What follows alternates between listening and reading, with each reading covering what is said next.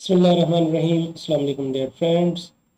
आज इस वीडियो में मैं फार्माकोलॉजी इन थेरापेटिक्स में जनरल ड्रग्स, रेनोलाजीन के बारे में बात करूँगा, लेकिन इसमें एक नई चीज़ आपको नज़र आएगी कि इसमें जो फार्माकोलॉजी हम पढ़ते हैं, उसमें कौन कौन से मेजर पॉइंट्स होते हैं ड्रग के बारे में प्रोटोटाइप ड्रग्स जो हैं, ज़्यादा इंपॉर्टेंट है हमारे लिए, उसको पहले नंबर पर आपको तैयारी करनी चाहिए, पढ़नी चाहिए।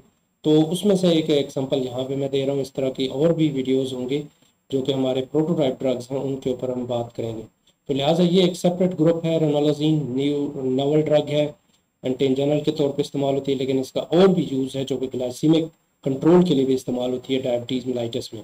So I am doctor Abdul Malik so next we go toward the main class of the drug ये सबसे पहला पॉइंट होगा इनमें पॉइंट्स आप नोट कर लें कि कम अज़ कम ये दस पॉइंट्स जो है ना, वो ज़रूरी हैं। इससे आगे भी आपको मज़ीद मैं बताऊँगा कि और भी पॉइंट्स होते हैं, जो कि हमें इंपॉर्टेंट होते हैं, लेकिन फार्माकोलॉजिकली आपको ये पॉइंट्स जो है ना आना ज़रूरी है। क्लिनिकली भी ये काम आएँगे और बेसिक फार्माकोलॉजी में भी इस्तेमाल होंगे।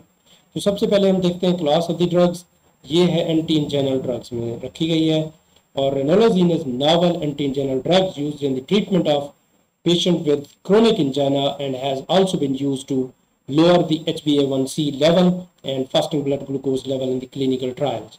ये बहुत सारे ट्रायल हो चुके हैं जिसमें ये यूज़ हुई है as an anti hyperglycaemic agent so इसका वहाँ पे भी यूज़ देखा जा रहा है और इस्तेमाल किया जा रहा है। तो ये this is the structure of this one so coming to the another title of this pharmacological drug that is mechanism of action, that we called pharmacodynamic.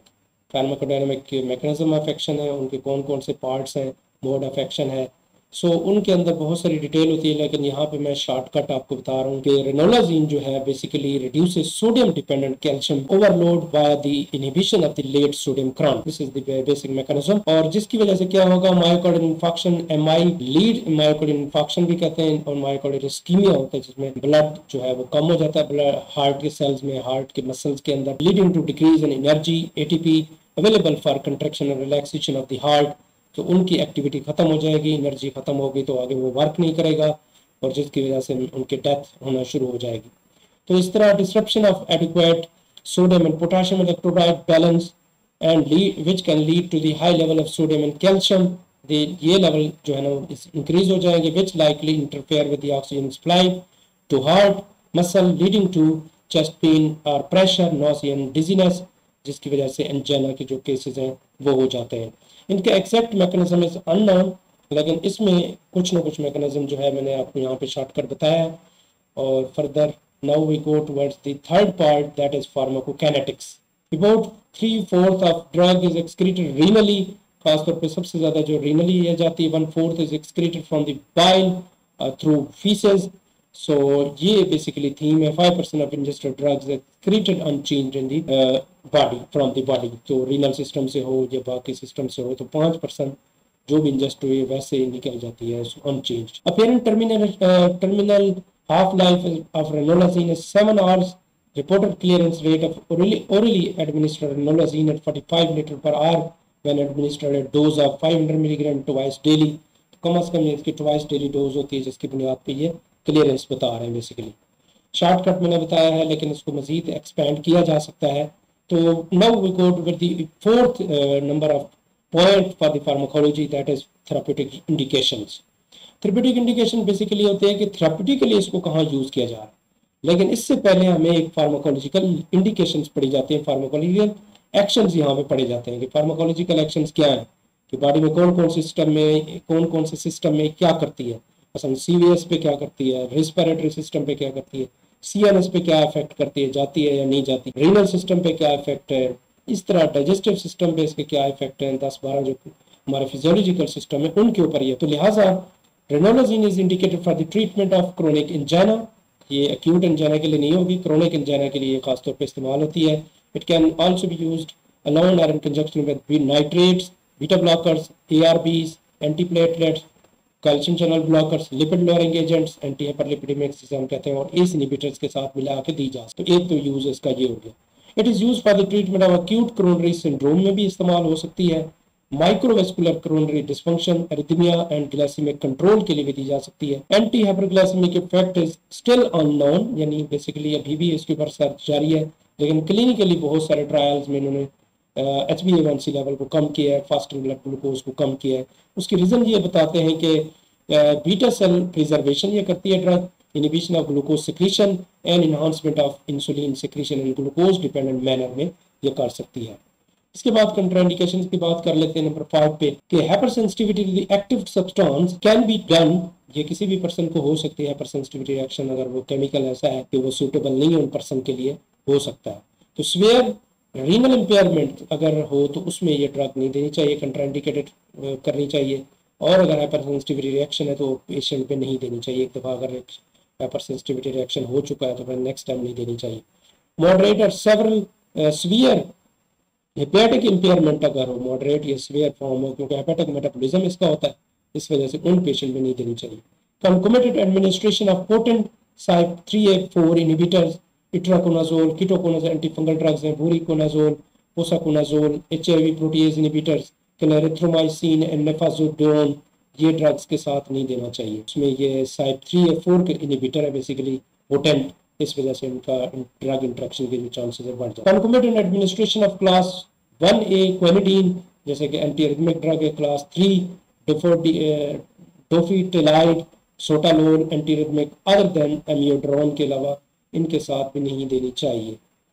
इसके बाद हमारे पास एडवर्स इफेक्ट्स आ जाते हैं बेसिकली कि ये क्या कर सकती है ड्रग रेनालाजीन ब्लाउटिंग और swelling of the face arms hands legs और feet can be done bloating हो जाती है स्वेलिंग खासतौर पे हम कह सकते हैं, इनमें ज़्यादा चांसेस होते हैं। चेस्ट टाइटनेस हो जाती है डिफ़िकल्ट और लेबरिंग लेबर्ड ब्रीदिंग हो जाती है, मुश्किल से सांस लेता, लेना शुरू हो जाता है। फास्ट इरेगुलर पाउंडिंग और रेसिंग हार्ट बीट और पल्स हो सकती है लाइट हेडनेस हेडेडनेस हो सकती है, हल्का सर हो जाएगा तो मेरे सर में सारी नहीं है। तो रैपिड वेट गेन ये भी हो सकता है, अगर ज़्यादा इस्तेमाल करें। Tingling of the hands are हाथ जैसे कांपते हैं टिंगलिंग होती है। अनयूजल वेट गेन और लॉस भी हो सकता है। इसके बाद सेवंथ नंबर पे ड्रग इंट्रैक्शन के चांसेस भी बढ़ सकते हैं। लाइक हमने कंट्राइंडिकेशन में बताया था, लेकिन यहाँ पे हम ड्रग इंट्रैक्शन में ये होता है कि ड्रग ड्रग इंट्रैक्शन हो सकता है ड्रग फ़ूड इंट्रैक्शन हो सकता है। तो इनको भी खास तौर पे देखना चाहिए, जो क्रोनिक डिज़ीज़ के लिए ड्रग्स यूज़ होती है, उनको खास तौर पे ड्रग इंट्रैक्शन में देखना ज़रूरी है।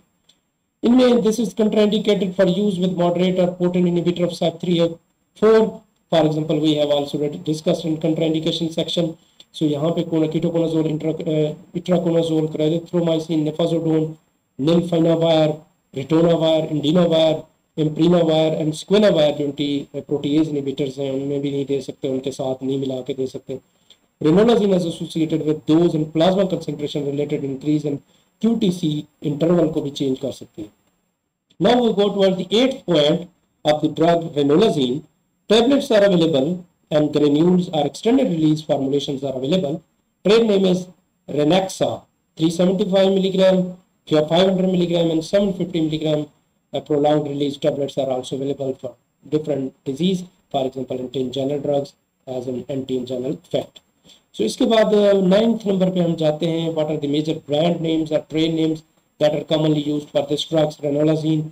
So here are the two major trade name Renexa and Esprozio Sprinkle. This is the uh, two. These are the two names, uh, trade names. So Rencard XR is CERN company 500 milligram tablets are available. Renexa 500 milligram uh, Renolazine is available. So these are the brand names available. Now we go in the 10th point. This is the last point of our pharmacological points. जो हमने discuss करने हैं इसमें क्या major चीज़ें आप discuss करेंगे pharmacology किसी भी ड्रग की करेंगे तो इस पॉइंट से करें आप ताकि आपको पता चले high oral doses of ranolazine have led to dizziness, nausea and vomiting.